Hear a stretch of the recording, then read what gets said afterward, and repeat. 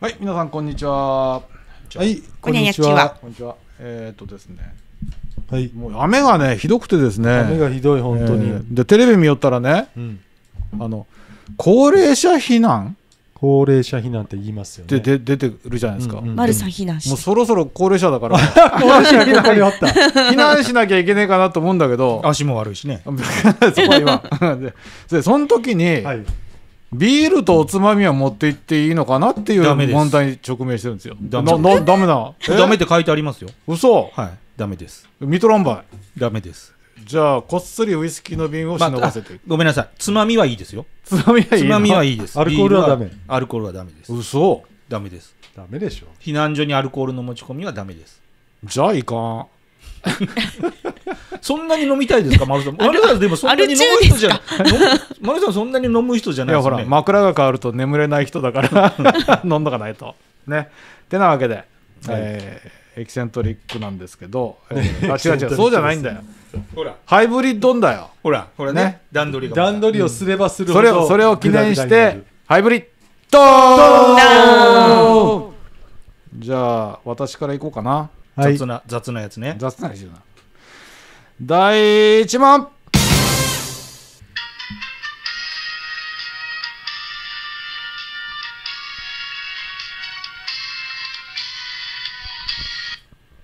からの はいはいはい。なんかそれ聞いたことある。え、セーラームーンみたいなにあの、2曲目はもう、わかったあ全然わかるんです1けど。曲目はほら話題じゃないですか今アバンギャルディ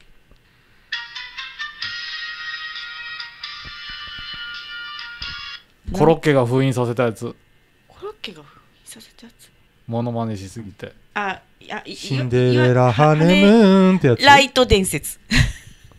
正解正解今適当あ、あ、今コラボしたわけね。そうそうそうコラボです。シンデレラハネムーンライト伝説はい。今ね、映画やってるんですあよ。本当？セーラームーン、スターライツで、娘がもう、大変です。はい。あ、あの、昔から好きだったんで、ああそうか。でそのスターライツっていうあのアイドルグループが出てくるんですけどね。そのスターライツが大好きなんで。いいと？いやあのいや話すと複雑なんですけど、はい、アイドルの時は男の子なんですけど セーラー戦士になると女の子になるっていうですね。あめんどくさい、はい。あそうなんですか。はい。うんじゃあ第2問。あこれはねあのすぐ分かる曲と昭和40年代頃の曲だから分かんないと思います。うん。うん。じゃあ、ほら分かった。第2問目。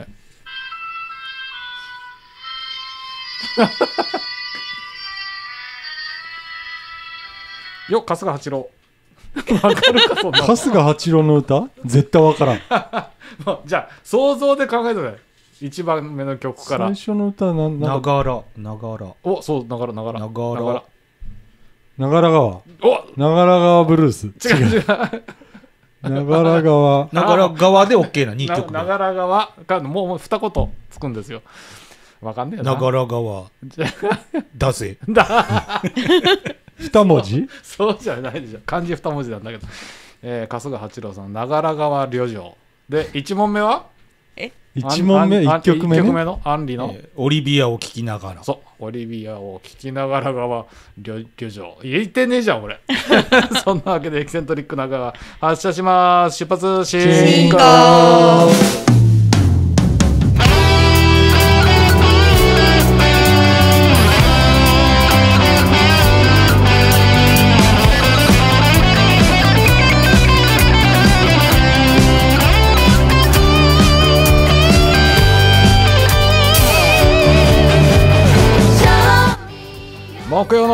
かがお過ごしでしょうか？愉快な秋の仲間と一緒に、えー西畑のカフェクローバーより中川レディオシン違う中市だね。中市レディオシンジケートに乗せて30分間、えー雨にも負けないあなたにお届けします。ではご挨拶を。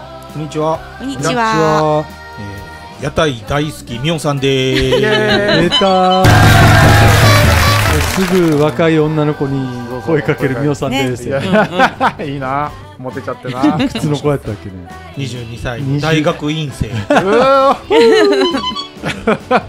あ次好はきやなー。皆さんこんにちは。じ。ゃあこんにちは。えー、そうですね。やったらいかんっすよね。みょうさんといる時にぐらいしかいかんくなったかなっていう。また今度連れてってください、こうだったんですえー、今日は何日？7月13日。7月13日です追い山の前の前の日ってことですね。梅雨が明けているでしょうかね。大体これぐらいの時期で。すね。そんな日に生まれた人がなんかぼちぼち中森明菜と。うん。おおあ俺昨日なんか中森明菜のデビュー前のなんかじゅなんかオーディションみたいな映像をたまたま見て。えらいもうまだこう純粋なこう学生さんですみたいな。あー15歳中森明菜ですみたいな映像を見て。たらね可愛らしいけど歯がね知ってるガタガタ。ってなか。ったガガチャガチャガチャ。俺も覚えてる。あれ整形してあるもんね。で整形じゃない矯正でしょ。強制ですかねうん、なんかそれを見てえーってなんか昔話に浸ってた、デビューした時はもう綺麗やったもんね。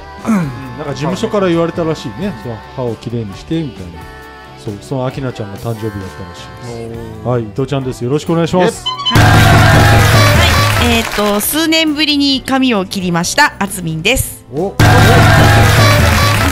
数年ぶり。っていうか多分駅戦はじあ私がはメンバー入れていただいた頃に切ってるんですよ。それ以来。それ以来に切ってる。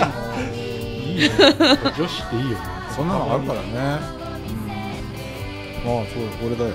あの7月13日だと山笠の前の前の日じゃないですか。山笠。さっき言いましたね。ね。やっぱ懐かしいですね。あの頃ね走ってましたもんね。え？最初ねあのあのかほら東流れで出てた頃もう15年ぐらい前の話ええですよ、ええで出てた頃ねよし来た来たってもうずーっと山の方見てるじゃないですか、えはそれで水ザッパーンってかけられてよし行くぞってバッて振りてバッて走り出したら電柱。ガーンってぶつかって。いそれいくつぐらいの時？いやもう50超えてたけど。あ50超えてたんですよじゃあよしとしましょう。バカなんでそんなことばっかやってます。丸さんです。よろしくお願いします。さて。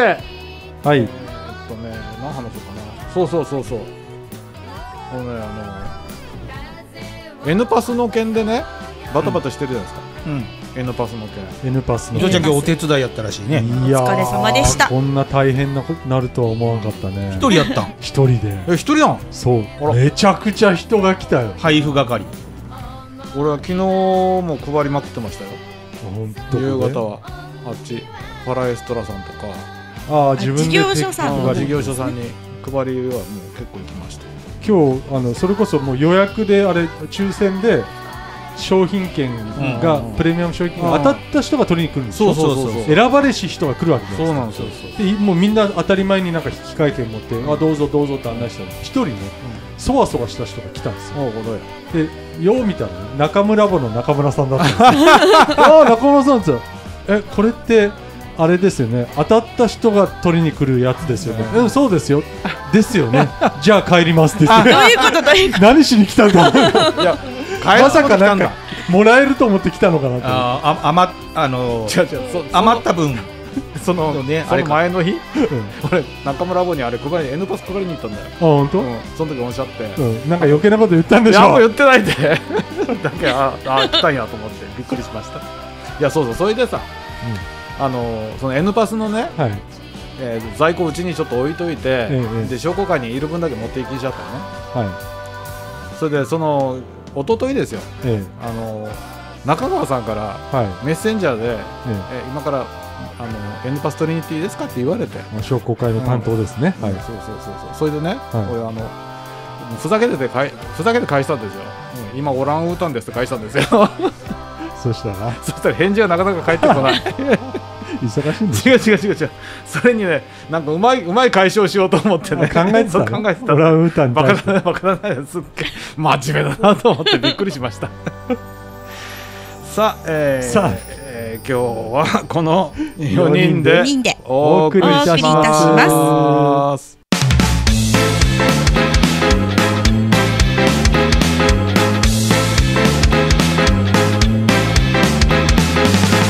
エキセントリック。中川、えーご唱和ください。喜んで。んで。エキセン的コッコロ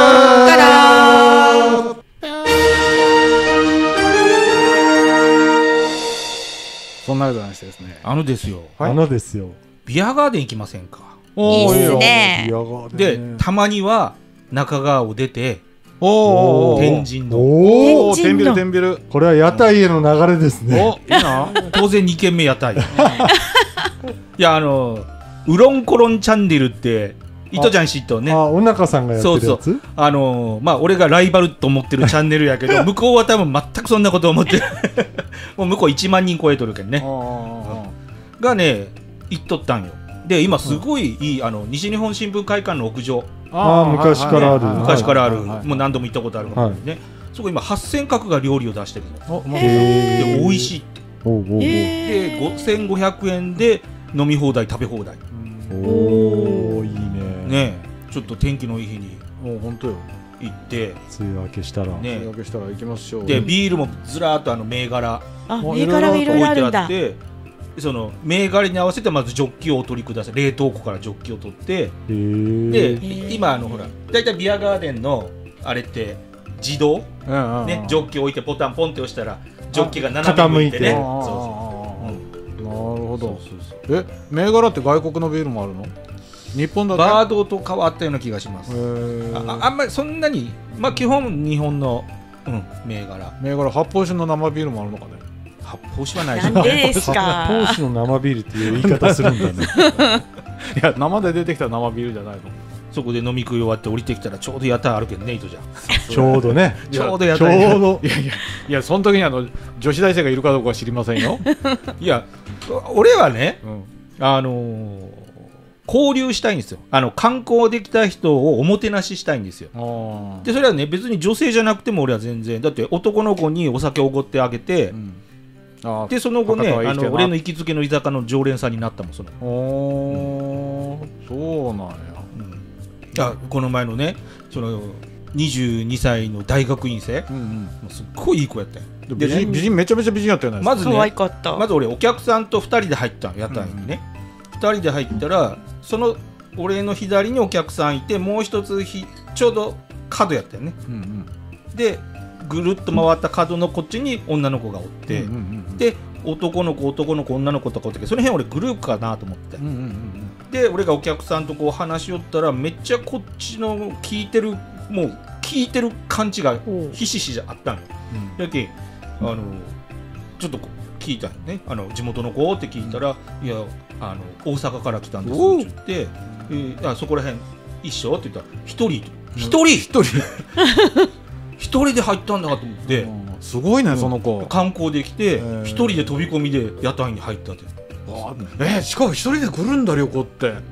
であの次の日にその子なんか奈良が奈良出身で、ええー大学院い行くのに大阪にいます。一人暮らししてて、奈良の時の友達が鹿児島にいて明日は熊本で友達と待ち合わせとでああそうか待ち合わせの阿蘇の観光。なるほどなるほど。今日はうん。ひあのささっき福岡着いて今屋台に来ました。ほわ。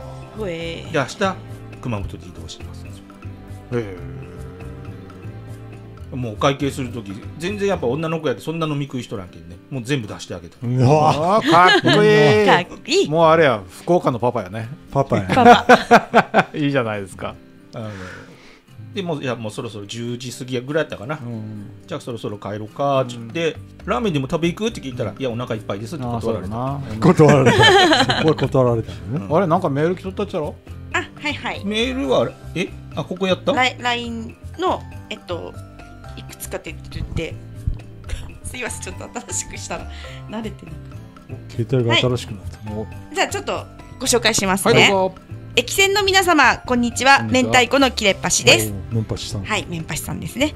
なんと、私の住む町でもモルック大会が開催されることになりました。マジか広がってますね、モルック。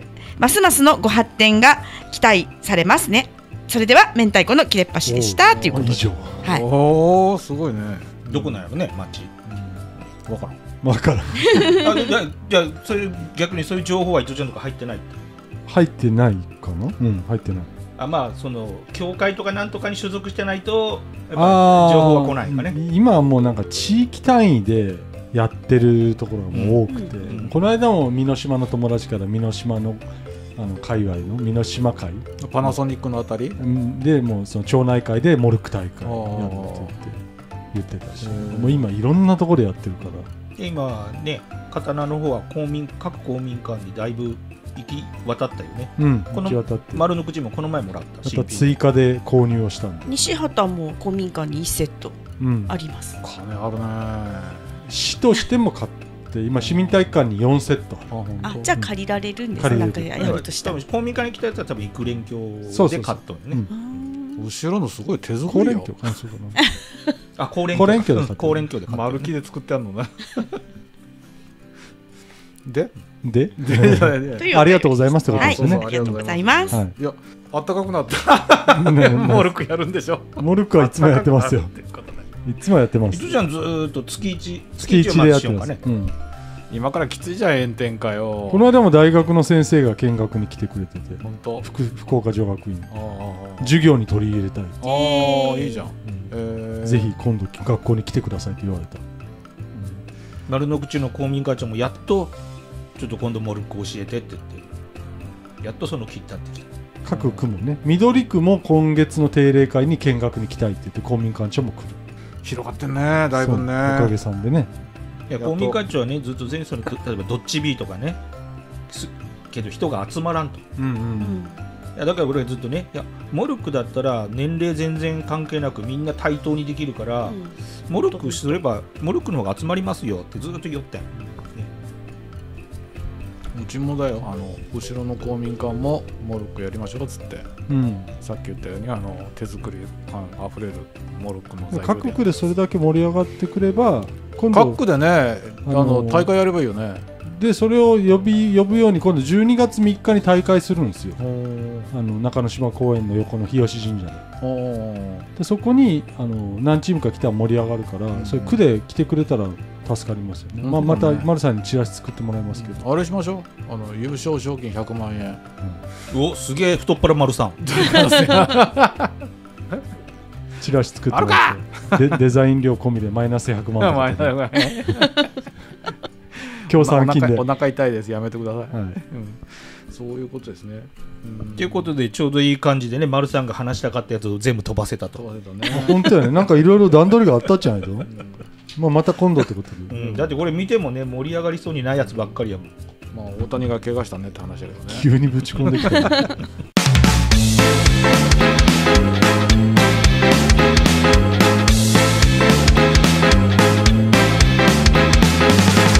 エキセントリック中川エキスペでございます。伊藤ちゃんよろしくお願いしますキトキトピーいないんですか？キトピーああまたおらんキトピーいねないんですか？あいないんですか？キトピー結婚式お休み。あ結婚式今日、おめでとうチフィ。ひ披露宴ですよね。でもそれさっき誰とか言おうたもん。チーチッ誰？ピーとか親しげに言って チフィーを知らんちゃう。バレてーらすいません。はい私がキトピーいないけど喋りますね、はいスポーツで人生をより豊かにをキーワードに毎月さまざまな情報を切り取り発信していきます。さあラジオの前の皆さんもせーの。ラブスポーなんかちょっと宿題ありましたよね。あなんかあったね。ああ質問質問。ももう一回そこだけ読める、はい。その部分。えー、っとですね。えー、S, S さんって言っていいんですかね、うん S さんね。S さんから。えー、っとなぜヤクルトスワローズは応援席で皆さん傘を持って応援しているのでしょうか？子供の頃からずっと気になっていたのですが今更聞くに聞けず梅雨だけに思わず聞いちゃいました。子供の梅雨だけに思わず聞いちゃいました。はい。あまあ傘やけどね傘よ梅雨ああそういうことね。す子供のその昔からやってたっけ？昔からやってる。やってたと思いますこうやってこうあの今のなんかヤクルトファンがみんな持ってるちっちゃい傘あるじゃん。いやそんなのあその普通の傘。普通の傘やったよね。うん昔普通の傘やってたよ。なんで？いやなんか多分あのそういうのって諸説あるでしょ絶対。あ俺が思うに多分よ。おじゃまんが山田君ってあったじゃんーお邪魔邪魔。邪魔はいお邪魔んが石井久一かなおじゃまんが山田君の中に岡田団長って出てきてたでしょ。覚えてない。うん覚えてないか。あ のヤクルトの応援団長で岡田さんっていうのが、まあ、実在する人物をモデルにしておじゃまんが山田君に登場してた。岡田団長っつって。へー「カーッ飛ばせ!」ってやってて。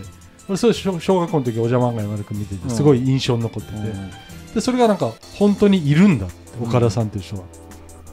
で岡田さんがその当時まだヤクルトも国鉄スワローズとかのはい時からのなんか初代応援団長かなんかででフライパンとかでコンコンコンコンみたいなそのうん、応援団の道具に金かけるぐらいだったらなんかどうだみたいななんかポリシーがあって傘振り回したりなんかフライパンしたりとか言って要はなんか賑やかにやってると応援団の観客がそのスタンドに少なくてもいろんなもの持ってて鳴り物とかしてたらなんかいっぱい応援団がいるように見えるっていうのがきっかけでああいう、まあ、傘じゃなくてもよかったはずやけどいろんなものを持ち込んで最終的になんか傘が残ったっていうイメージなんですよね。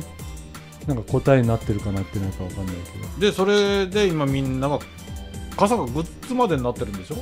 知らない、ね。うん。なんかね。まあ別に俺あんまりヤクルト興味ないからあれだけど。まあ、漫画きっかけという。かまあその岡田さんがいいいやり出しっぺっていうか言い出しっぺっていうかだったと思うけどね、なるほどね、多分なんかヤクルトの岡田さんでググったら出てきますよ。S さん自分で調べてください。S さんお願いします。多分そうです。投げやっちゃった、うんで今日本題なんかありますか？あ私、そうです。ラブスポーツいや本題そんなにないんですけどちょっともうなんか雑談的にまあホークス野球ネタでいくとですね、まあホークスどうですか？丸さん今日今調子いいじゃないですか。いいでしょなんかあとなんでデスパイネ来てもう終わった人かなと思った自ら頑張ってんじ力ゃん。がぼちぼち出始めてきたって今日の時点で、まあしまあ、首位にあの返り咲いたんで、うんオリックスと1ゲーム差、うんうんうんうん。まあぼちぼち。いいかないいかなってところですよね。で、まあ、頑張っていかないかんとですけども、あのーこの間ふと思ったのがホークスってまあいろんなスーパースター選手がいっぱいいるじゃないですか、うんで千賀滉大ね、あのーみたいに甲斐拓也みたいに育成出身からでもこう這い上がって大リーグに挑戦して二いく軍三軍もすごいもんね、でも、うん。要はいっぱい取るじゃないですか、でそもそもドラフト制度で、まあ、適した選手を取っていくんですけどドラフト1位に選ばれるってことは、まあ、ホークスに限らずですけどすごいことでしょ？うんうん。そう思うでもドラフト1位の選手が必ず活躍してるかって言ったらでもないよね。2位 3, 位3位とか4位の方が活躍してるような気がすっちゃうけど。どうやろう。なんかこうドラフト1位で今ホークスで頑張ってる人って思いつきます？柳田違うね。あー昔で言うとね、まあ、今ピッチングコーチしてるあのもうホークスといえば、うん。あの不動のエースだった斎藤。和美。和美さん、うん。もドドラフト1位だったんですよね。昔はですねそういう1位の選手斎藤和美もそうだしあのロッテの監督してた井口とか、ああはいはい。井口もあのドラフト1位だったんですね。和田剛まだ頑張ってるでしょ？頑張ってます、ね、和田もまあ自由枠ですけど、まあ、自由枠の話するとまた話が長くなるけど自由枠ということは、まあ、結局ドラフト1位みたいなもんなんで、ホークスを専門的に、えー選んだってことですよね。そうだよね、でもですね、じゃあここ10年ぐらいホークスのドラフト1位ってどうなってるかっていうと2010年からいくと山下綾嗣が1位だったんです習志野高校からの。山下綾嗣って分かんないでしょ。えー。分かんないでしいやょ俺に聞けみんなに聞けよみんなによ。いやこの2人に聞いても絶対分かんない。と思う知らない。山下綾嗣もドラフト1位で入ったけど使い物にならなくて、楽天に行ってもうプロ野球選手辞めちゃってるんですよ。あえそれそれもドラフト1位だったの？ドラフト1位で、翌年は武田翔太、まあ、武田翔太はまだかろうじてうん。その次が東浜直お直君はまだ今先発のローテーションですよねでと翌年2013年は梶谷蓮。ああそこわかんないや。わかんないでしょ、うん。これドラフト1位の名前を聞いて誰それってなるってことは活躍あんまりしてないと思います、なんで、2014年松本裕樹。ダメ。うん、ダメ？わからん。わからん。ダダメか。メ松本裕樹？違うな。わか翌年高橋純平。なんかラフト1位聞いたことあるぞ。翌年田中正義うん？うん全然ダメでしょ、わからん。北 P 頼むよ。まあ何が言いたいかというと、うん。ドラフト1位が活躍してないんですよ。うんなるほどね。で私思ったのがまあ、昨日の試合のスタメンをですねここメモ書きしてきたんですよ。はい。昨日楽天戦だったかな。うんうん。1番ファースト中村晃。うん、アキラ頑張ってるよね。帝京高校から。あドラフト3位。あおう3位や2番セカンド三森。青森山田から。ドラフト4位。3番レフト近藤健介。日ハムから来たうん。コンちゃんちゃんね。横浜高校から。のドラフト4位。そして DH へギータ柳田悠岐。うん。広島経済大学からのドラフト2位、うん。えー次がセンター牧原大成。熊本の情報高校からの育成の5位。あ5位なんやで柳町達がライト。慶応大学からドラフト5位。うん。そしてサードが栗原良也、えー春江工工業高校からのドラフト2位。うんそしてやっときました。ショート今宮健太、うんうん明豊高校ドラフト、2010年のドラフト1位。うん今宮今宮。で甲斐拓也がキャッチャー。陽子館高校の育成の6位。うん。でこの日代打で出たのが周東右京。周東分かるよね、足が速い周東これも育成で東京農業大学からの育成の2位2位なんや。さあ今この試合に1軍でバリバリ活躍している中でドラフト1位は今宮健太だけやったほんまやね。ということはドラフト1位にドラフトならなら1位ない方がいいんだ。は活躍しないっていうジンクスが。あそれはホークスはってこと？それとも球界全体？全体。あまあホークスは特にそうだね。ななんでやろうね。あの安心しちゃうのかなドラフト1位だったら。ーもうそのこ例えば高校とかでもう終わってるんじゃないですか。ピークがそ終こわった人になってんのかな。でもそこも見極めてプロで通用するんじゃないかっていうのがスカウトの仕事でしょ、スカートねそうだよね。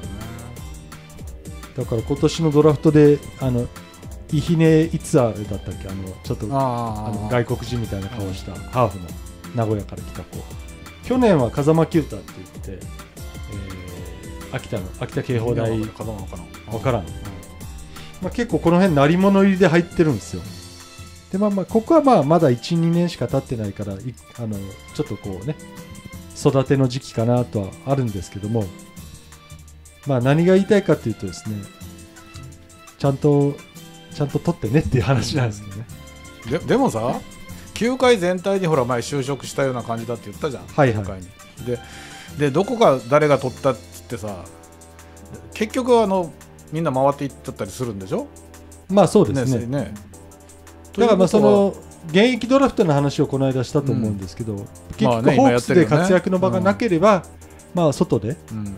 っていうのも、まあ、ありかな。田中正義なんかそうなんですよ。さっき言った2016年のドラフト1位の創価大学から来た田中正義も、まあ、ホークスではなかなか成功しなかったけど今日ハムに移籍して、まあ、要はコンちゃんコンちゃんが近藤健介が来たから、まあ、これはあの言葉の言い方がなんか賛否両論あるけど人的保障っていう言い方をするんですけど人的保障でじゃあ田中正義は日ハムコンちゃんと交代って言って正義は日ハム行ったんです。よ辛いねそれね。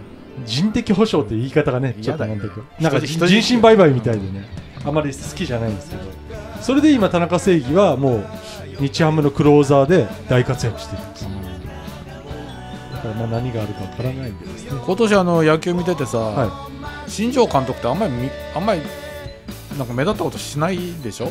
それはやっぱもう焦ってる、焦ってる。よ さすがに。そろそろそろ首かな、え最初ユニフォームで目立ったけどね。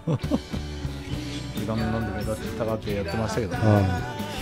まあ、ちょっと雑談的で大したオチはないんですけど、いやいや。ちょっとドラフトをですね、もうちょっと、斎藤佑樹だっけ？ハンカチ王子。ああ、ハンカチ王子。ここも1位やったのかね。そうね、バリバリの1位。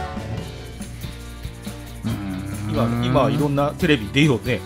出てるね、ユニクロの CM とかね。ハンハンカチ屋さん？ハンカチ屋さん。屋さんではないですね。屋さんではないか。まあ、そういう自分の中での育成の、ね、ドラフトとか、まあ、ドラフトの3位、4位、5位とかでお気に入りを見つけて推しにしていって応援するっていうのも楽しみなのかなと思いますね。で今年結局優勝します？ソフトバンクは。まあすると思います。2位は？2位はオリックスで間違いない。オリックス間違いですね。まあそういうオチでね。よろしいでしょうか。よろしいと思います。はい、皆さん意義ないですか？意義ないです。はい。それではまた次週。お会いしましょう